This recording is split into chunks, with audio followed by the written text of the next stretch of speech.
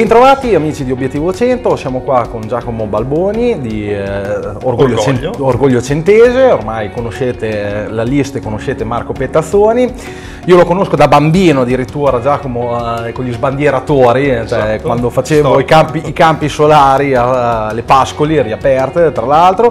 Io ti ringrazio, l'ho voluto contattare come eh, rappresentante del volontariato, se ne è parlato tanto in questa campagna elettorale del volontariato e partirei proprio dalla prima domanda, perché hai deciso di candidarti? Innanzitutto grazie per tutto quello che stai facendo.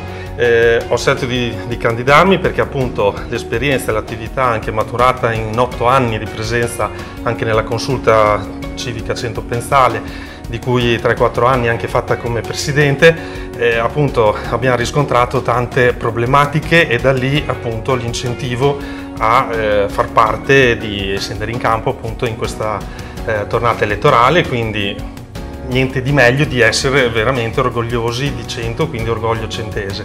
Eh, il fatto anche del volontariato, appunto, essendo all'interno di varie associazioni, nominavo gli sbandieratori, ma quella ormai è preistoria, eh, diciamo anche più di recente, appunto, facendo parte di altre associazioni, eh, sono stato anche tra gli organizzatori del Centro Street Festival, insomma sicuramente avrete presente, quindi le iniziative estive con i commercianti.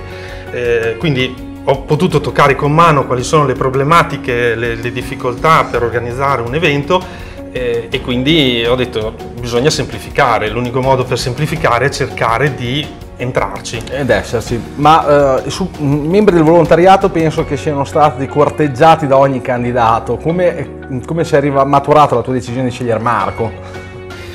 Eh, il fatto di essere civico e proprio nel suo motto cambia 100, cioè, secondo me questo è fondamentale, poi anche gli altri componenti della lista eh, sono gente che comunque sono stati in consiglio comunale, state, hanno tanta esperienza anche loro eh, della macchina organizzativa del comune, quindi insomma ho ritenuto che fosse la, la squadra migliore con cui far parte. E suppongo che tu come membro, ripeto, del volontariato abbia contribuito anche molto al programma, ci sono delle punte che senti tue particolarmente? Due parole proprio sburocratizzazione, cioè semplificazione in modo tale da agevolare le tante associazioni che hanno degli eventi, vorrebbero organizzare, che però si trovano eh, limitati e quindi non possono andare in piazza. Eh, siamo in tantissime associazioni, se ognuno portasse un'iniziativa ogni fine settimana avremmo tutto l'anno pieno. Sì, assolutamente. cioè, io devo dire che in questa campagna elettorale tutti quanti hanno parlato di sburocratizzazione del comune, sembra anche già un, te- un termine. Cioè, io veramente io mi aspetto che nei cinque anni- prossimi 5 anni uno va in Speriamo. comune, cioè, in 10 secondi riesce a uscire. Speriamo. E, ma eh, a parte la burocrazia, il volontariato come è messo a 100? Cioè, cerchiamo di, di- di farlo capire.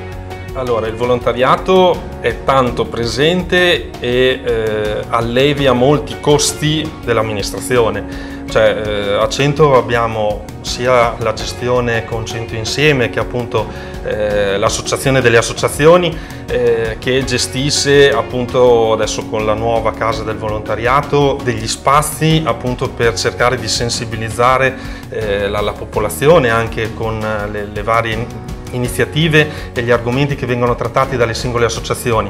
Eh, però appunto a 100 abbiamo da- dall'assistenza agli anziani a- al parco del gigante, quindi la gestione dei bambini, quindi eh, tutti, tutti i settori, quindi eh, bisogna appunto seguirli, ascoltarli eh, tutti perché Ecco, basta io, poco insomma io, io ho aiutare. assistito agli incontri, a qualche incontro fatto da 100 insieme alla casa del volontariato e ho riscontrato che eh, praticamente in grande sostanza tutte le associazioni lamentano di essere state abbandonate.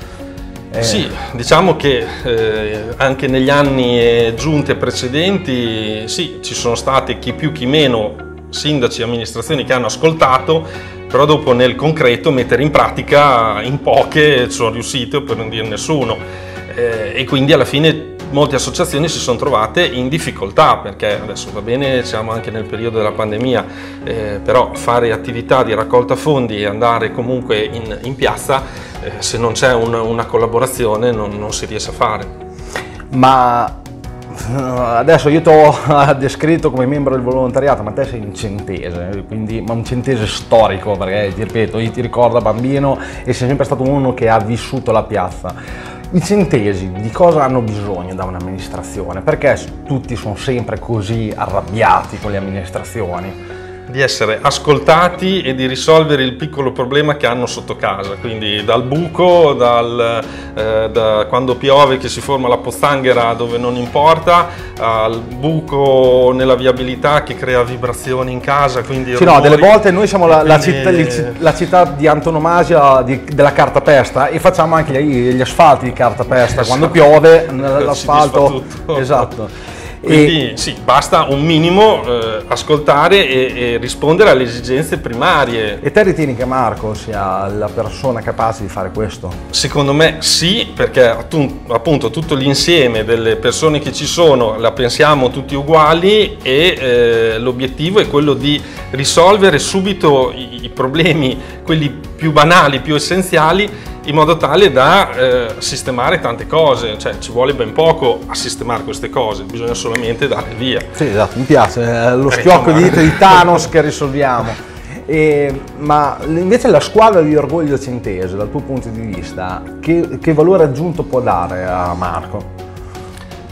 La competenza e l'esperienza. Cioè, adesso non, non, sto a fare i nomi di tutti perché sennò... No, ci ho pensato a Veronesi che mi ha impiegato 5 minuti solo a elencare Però insomma eh, basta andarli a scorrere, andare sul sito, nei tabelloni che hanno già esposto, insomma si può vedere eh, un ampio panorama di, di, persone che hanno già frequentato e conoscono il territorio. Insomma. Beh insomma sì, anche persone come Veronesi che delle volte sembra anche guarda che si levassero da parte, però invece sono ancora Beh, qua. Sto, sto scherzando Veronesi sta ascoltando qua dietro e noi lo, ci piace prenderlo in giro. E, ma no, invece io vorrei soffermarmi su un'altra cosa. Gli altri candidati, dal tuo punto di vista, eh, cosa hanno di meno rispetto a Pietazzoni? Perché cioè, eh, io su questa cosa qua lo chiedo poco, però cioè, se uno... A me lo chiedi proprio. Lo chiedo, lo chiedo a te, perché... Eh, tu, io ti ripeto, ti riconosco come uno dei massimi rappresentanti dei centesi.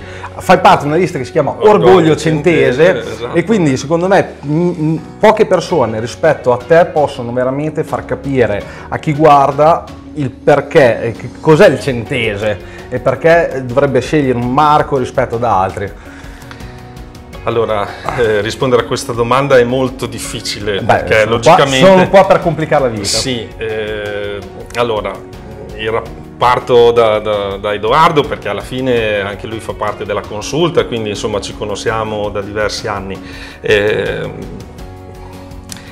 I rapporti sono tutti positivi, eh, però insomma alla fine manca sempre un qualcosa che... Eh, non so neanche sì, quel insomma, in più esatto poi passando anche a, a Tuzet cioè Tuzet eh, mi ricordo i suoi cinque anni Insomma, eh, sì, preciso tutto quanto, legalità e quant'altro, però dopo i rapporti con i centesi sono stati molto ostili. E Fabrizio, quindi... Fabrizio, durante la sua intervista ha detto riconosco di aver fatto degli errori che non ripeterò. Secondo te è credibile quando dice questo? Magari alla luce dei suoi partiti? Beh, intanto grazie che l'abbia ammesso, perché insomma già questo secondo me è un, uh, un, buon senso almeno di responsabilità, insomma ammettere i propri errori. Nessun candidato avrà la bacchetta magica per risolvere i problemi, eh, però insomma... Eh, Toselli ha ascoltato tanto, ma dopo è mancato in concreto il mettere in pratica, soprattutto nei confronti di, de, del volontariato. Insomma, non sono le ultime cose che dopo sistemano quello che è mancato negli anni precedenti. Ecco. Guarda, io concluderei con una domanda. Eh, io ho fatto queste interviste per valorizzare il ruolo del consigliere comunale, perché è una figura che eh, secondo me è stata molto sottovalutata negli anni precedenti e che secondo me deve tornare a essere eh, presa come propria. Il consigliere comunale è quello che rappresenta i cittadini, delle volte anche più del sindaco. E tu come consigliere comunale che lavoro intendi fare? Allora, ehm, sono un perito agrario, quindi sono nel settore agricolo, quindi il terreno, il terreno nostro di Cento è un terreno particolarmente vocato soprattutto nei secoli scorsi, anche gli stessi affreschi del Guercino ricordano appunto il paesaggio con la canapa. Eh, quindi c'è tanta richiesta in un certo senso in questo periodo di tessuti, si va a mangiare la pizza, trovi la, la, l'impasto con la farina di canapa, insomma quindi eh, vedere di eh, incentivare, di avere i rapporti con eh, le associazioni di categoria, con eh, gli industriali, con eventuali eh, quindi gestori di tutta questa filiera in modo tale da eh, invogliarli insomma, per eh, riportare questa filiera a 100. Se vuoi fare la collante insomma, tra l'amministrazione sì, e queste... perché logicamente bisogna avviare, cioè se c'è anche mettiamo una startup o comunque qualcosa che possa partire ha bisogno comunque dell'appoggio dell'amministrazione. Quindi secondo me eh, il mio ruolo potrebbe essere benissimo in questo settore eh, dove in tutta Italia a macchia di leopardo, insomma si sta appunto cercando di, di ricoltivare questa, eh, questa, cultura della canapa con diversi utilizzi, chi per la spremitura, chi la farina, eh, chi ad uso farmaceutico, ma la nostra specialità a 100 era fare corda, eh, fare tessuto. Eh, la corda veniva data alle truppe eh, inglesi per, sulle navi, sulle Vabbè, flotte. Abbiamo insomma, anche una squadra quindi... di tiro alla fune, così la Però effettivamente la canapa di 100 era molto importante, era anche sede della, della borsa eh, del mercato della canapa, quindi insomma eh, riportare questa coltivazione a 100 può essere anche un modo per gli agricoltori di dare una giusta rotazione alle culture, eh, visto che attualmente ci siamo ridotti a mais, grano e poche altro, frutteto ormai non ce n'è più, quindi cercare di riportare quello che è la tradizione nostra, eh, incentivando in modo tale che ci possano essere ritorni economici anche per l'agricoltura, non solo le altre attività, insomma, quindi questo penso questo che sia il mio settore. Bene, io ti ringrazio, penso che lui si sia presentato molto bene, ti ringrazio soprattutto perché hai dimostrato una cosa, da ogni persona si può imparare qualcosa, si può raccogliere un, un pezzo di storia della città, un pezzo proprio anche eh, del tessuto socio-economico eh, della città e quindi eh, per me è stato un onore intervistarli tutti quanti e conoscere un po' meglio la nostra città. Poi voglio rassicurare che i gnocchini fritti continuiamo a farli. Ecco, no, questo è importante perché non sa mai che ci sia qualcuno che si metta dietro come il sottoscritto, no, tu lo impedirai questo. Va bene, bene, io vi ringrazio, grazie, grazie. a te per essere grazie stato i nostri e alla prossima intervista.